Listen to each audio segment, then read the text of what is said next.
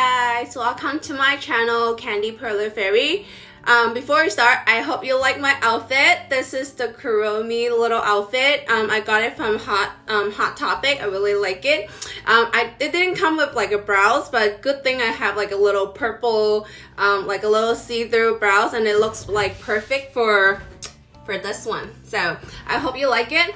Um, so today's tutorial is actually the Sailor Moon um, scale, all the character. I just combined all the tutorials um, to build this in this video. So um, I already post some of it on like Pinterest and uh, Instagram and the shorts, but they go really fast. So I'm not sure if you get to see the pattern and know how to build it, but they're super easy to build because the body is the same. Um, only the head is a little bit different.